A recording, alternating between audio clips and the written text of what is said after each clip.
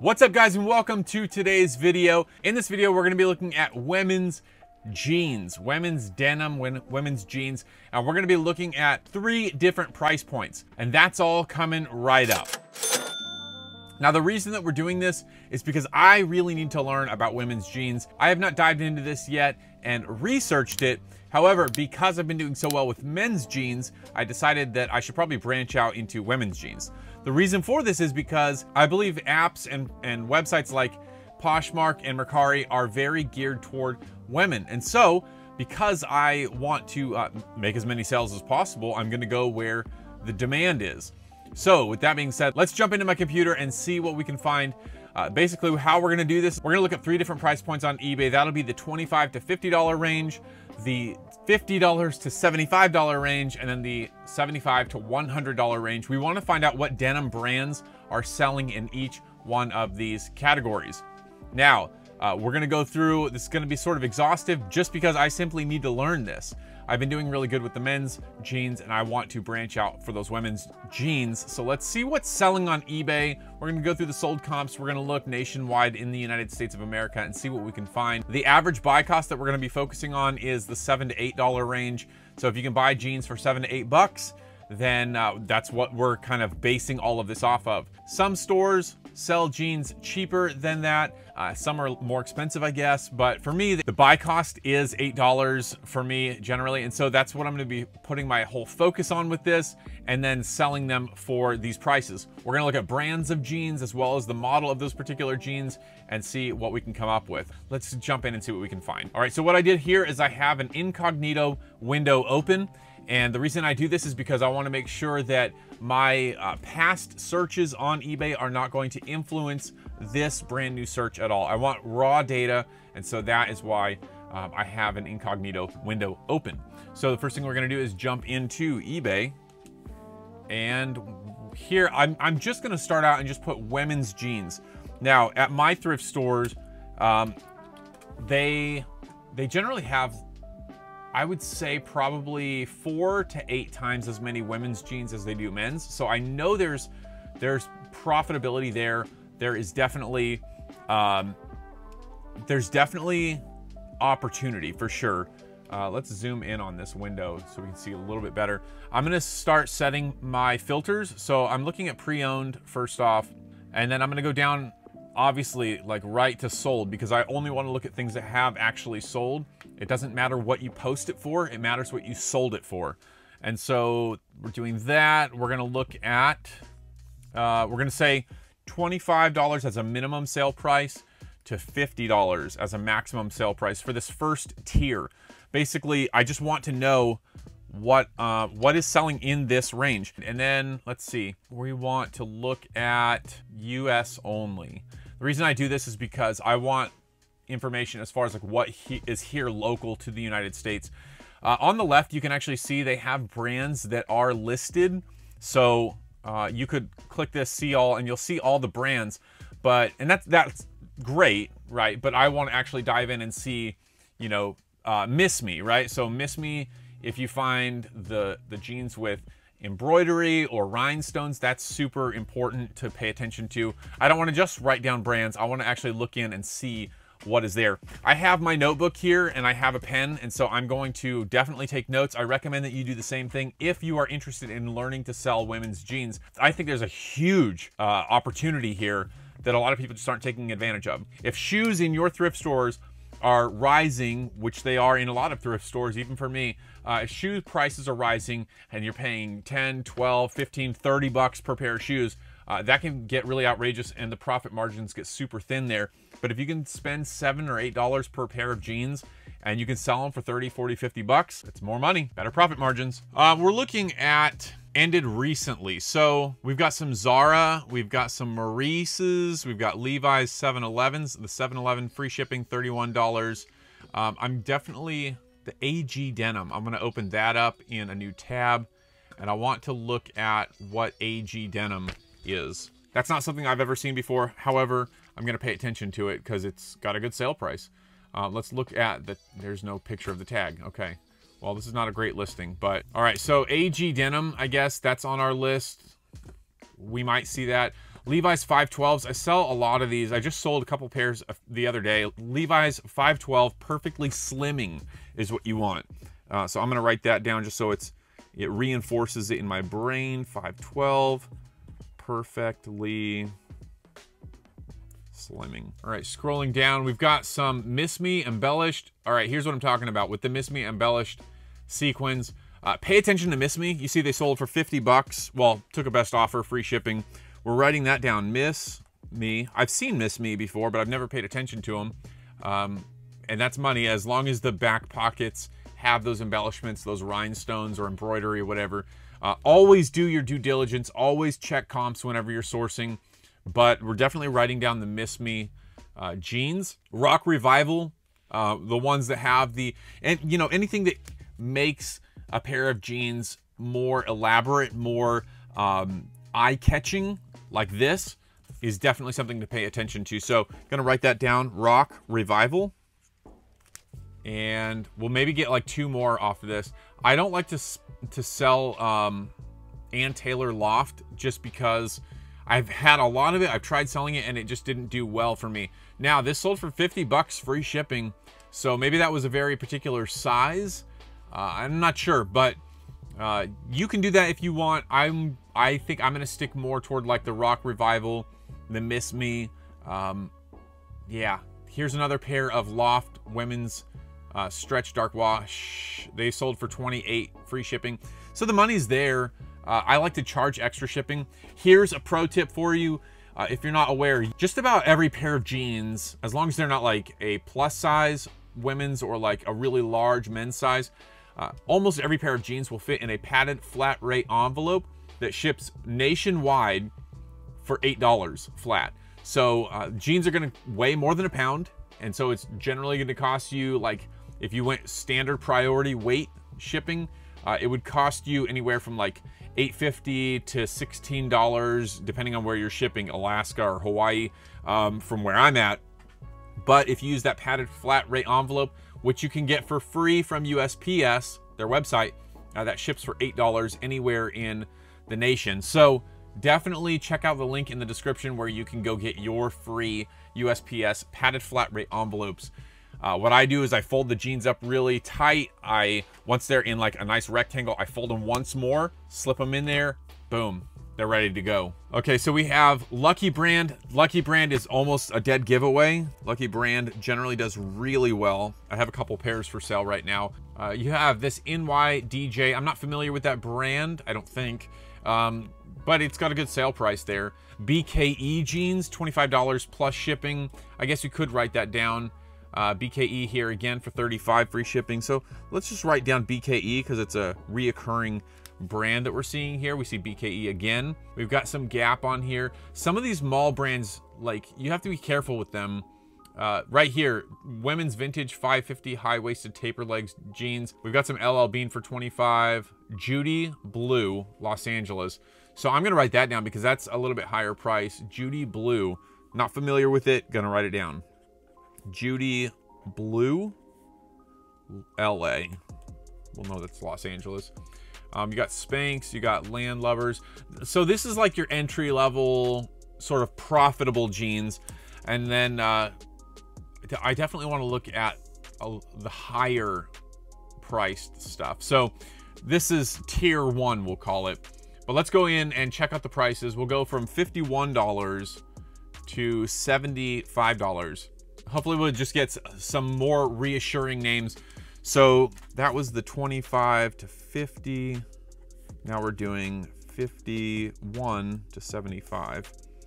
Right off the bat, you see Rock Revival right here uh, for 60 bucks plus shipping. So I'm just gonna write RR and then we go through Y2K Vintage Paris Blues. Not sure of that brand. Definitely gonna open it up, check that tag out because I want to be sure that there's another pair right there, Vintage Y2K Levi's 550s.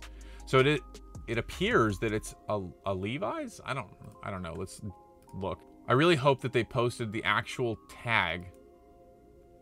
Okay, Paris Blues is the brand. Paris Blues is the brand. So that's what we want to be paying attention to. Y2K is, I guess, the year 2000 is probably when these came out, which is what they're basing their vintage stuff off. So Paris Blues.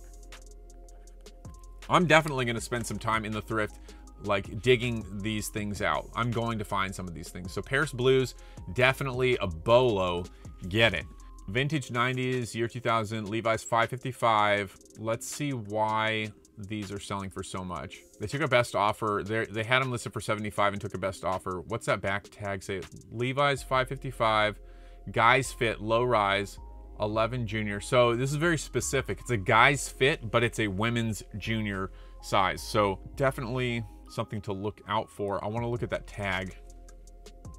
There's nothing particularly like interesting about that tag except that it just says 555. So I'm going to put Levi's 555. I don't think I've ever seen a pair of Levi's 555s. Uh, some Levi's numbers don't do very well and others do. So that's why I'm writing that down. I just want to be sure.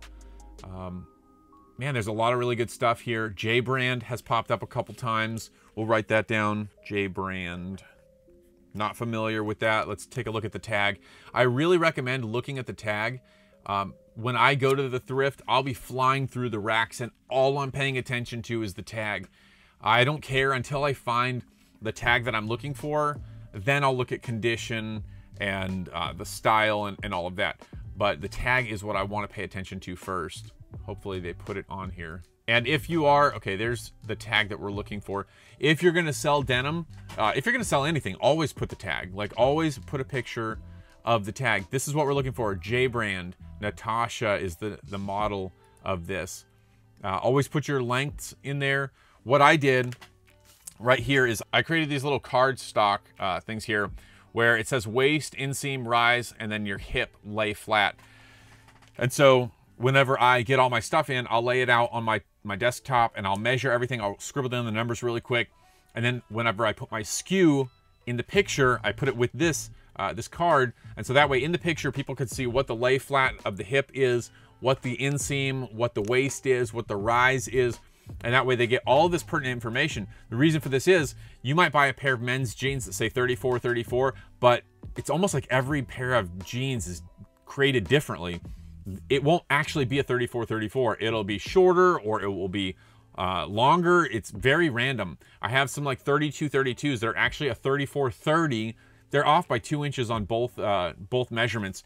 So definitely do all of your measurements and write it out so people can see it, or take a picture like this. Um, this 29 inches on the inseam, and it's a size 28. So I don't know. I don't know. Definitely take pictures of of these. You can see the waist is a 26 because you take that 13 inches and you double it for the waist. So it's a 26 by, what was that? What was that on this? 26 by 29, eh, but the size is 28. Don't get it. Very, it's very weird. So denim is is strange like that. Um, let's continue going on. Citizens of Humanity, be on the lookout. Look at that, 60 bucks free shipping. Citizens of Humanity. That's what we're looking for. Uh, there's another one right there, 65 bucks. I want to actually look at that tag really quick because I want to know what I'm looking for whenever I'm out and about. This is uh, this is something that works for me is by, by looking at these things, you recognize it in the future. This is how I'm able to find so much stuff out in the wild is just by paying attention. There's the tag we're looking for. That's what we want to see. As you're flipping through those racks of clothes, just go fast, fast, fast, fast, and then look at them. These names will start jumping out to you. That's why you write them down. That's why we write them down, so that they, it reinforces in our brain what we're looking for. Let's do a couple more in this price range and then we'll move on to the next. This is a three, a three pair bundle of Lilly Pulitzer, so we're gonna avoid that. This is a pair of vintage 501s. I sell vintage 501s, but never at this price point. So I wanna see what is making them so desirable or, or to go with that price. All right, so this is from the 1970s, 80s. What you're looking for right here, it says 501, but do you see that red double X right there? That red double X right above the horse's head on the right uh, is, it's a vintage brand, but you have the tag overlay to the right of that right stitching. This means it's from like the 70s, early 80s when it overhangs like that. Um, that's really desirable. And then let's see if they have the special stitching on the inside. I don't think they do. It's got the button fly. That's how you know it's a vintage pair also. Uh, the button fly Levi's, uh, they go for more, definitely. That's all I'm seeing right here. Made in USA, huge selling point on that. Made in USA. So this is definitely like a solid, this is a solid pickup right here. Anyways, let's get back to it. We're going down, we've got Driftwood, the brand Driftwood. Uh, I'm gonna write that down and let's do one more. If you see something on here, obviously like look at it. Um, I sell a lot of True Religion. I generally don't get this price point for them, so there's something here, probably the red stitching that is very um, attractive for this buyer. I'm gonna write down Rag and Bone because that uh, it's $50 pair. Rag and Bone. Let's pay attention to them. Remember, all of these, uh, no matter what the brand is, you might find a, a pair that is not worth what we're looking at right here. Uh, it's all subjective to the actual pair that you're looking at and what embellishments or what thread it has on it or what the tag looks like. Um, there's there's always like some factors, so definitely search out every single time. Uh, vintage Guess, if it has the little triangle Guess tag there, that's really good. Um, another pair of Levi's 550s right there. I think that's what we, oh, we wrote down Levi's 555. So I'm to write down 550 as well. I just added that to that line item. Another pair of Guess vintage jeans. Another pair of rare 90s Guess jeans. Mother of Rascal, $65. I'll write that one down. And that's to be the last one for this price point. I don't want to make this video too long. However, um, I'm finding some really cool stuff here that I, I definitely will probably come back and do more research on. You can see Miss Me right there, another pair of Miss Me's. All right, let's jump up here and get to the 75 to $100 range. I wanna see what is selling in the 75 to 100, probably the least amount of stuff, and these are gonna be the hardest items to find. As we get to the higher priced items, it's gonna be more rare that you find these, but why not be on the lookout for them? Uh, we've got Rag and Bone, Miramar Jean Joggers. So Rag and Bone, we already have that written down. Uh, we got Polo Ralph Lauren, Mother the Dropout Fray. I want to see what that is. Is Mother the brand and then Dropout is the model or let's see. Let's look at this. Mother is the brand assembled in US. Okay, cool. Mother. Got it. And then if you look at this tag, they've got this little white, it won't let me zoom in on it. They've got this little white tab up here that says Mother. So in the 75 to $100 range, Mother is absolutely a brand that we're looking for. 100% brand that we're looking for right there. Uh, that tab is definitely key. So let's jump back.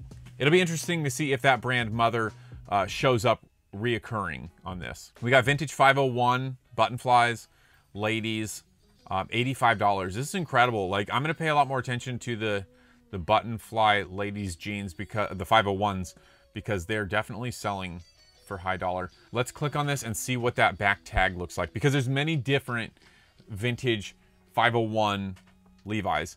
Um, so this is the one without the extended brown tag and this has the double X right above the horse's head. Wow, that's very interesting that they didn't give hardly any information whatsoever but that tag looks good. We see a vintage Tommy Hilfiger figure spell out overalls from the 90s. Definitely something to look out for right there.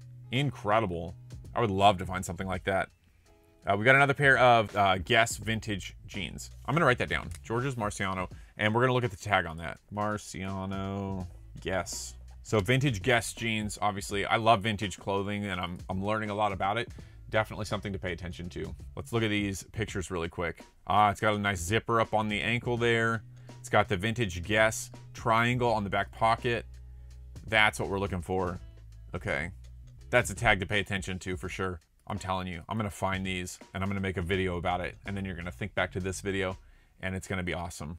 We got Dolce & Gabbana, obviously, like you don't even have to write that name down. If you see Dolce & Gabbana jeans, probably a pretty decent pickup. We've got another pair of vintage Levi's 501, the double X's. Let's look at it. Same thing right here, you guys. Double X above the horse's head.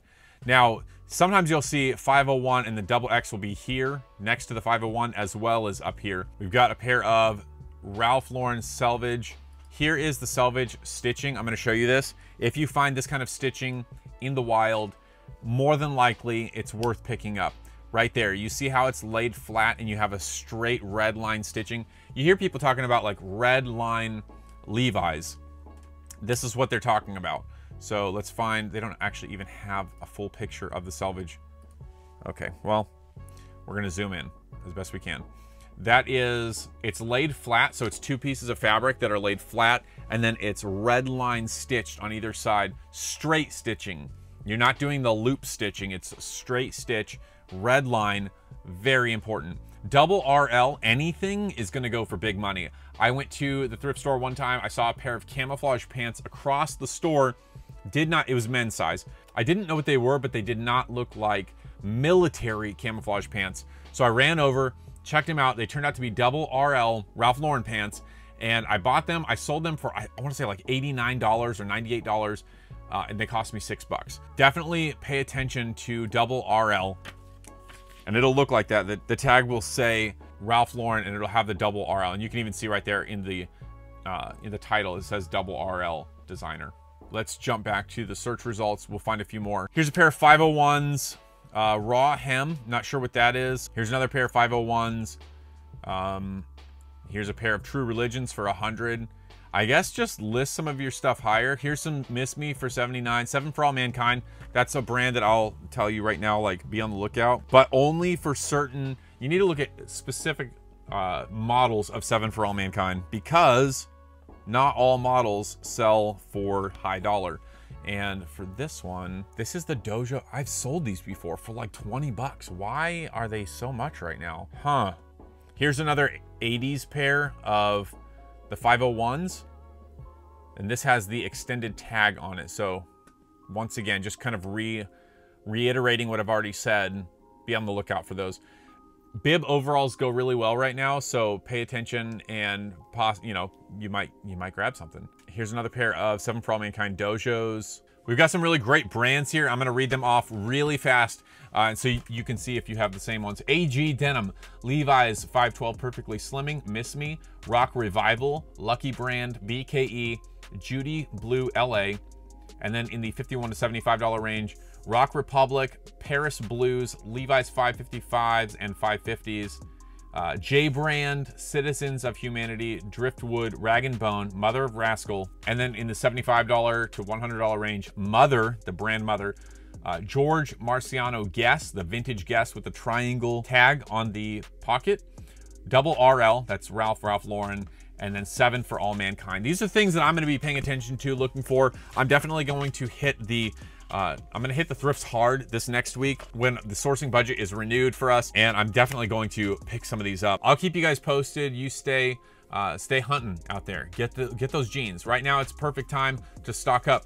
I put this out in one of my videos or something recently.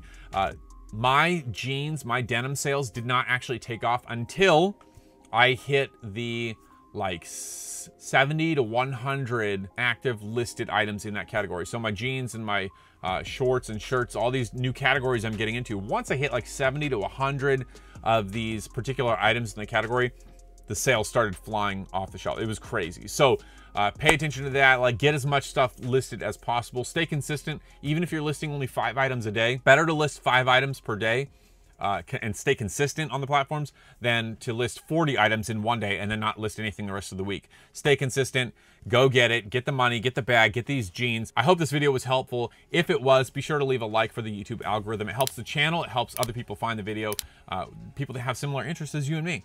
Uh, thanks again for watching. If you're not already subscribed, consider subscribing. And as always, I'll see you on the next video.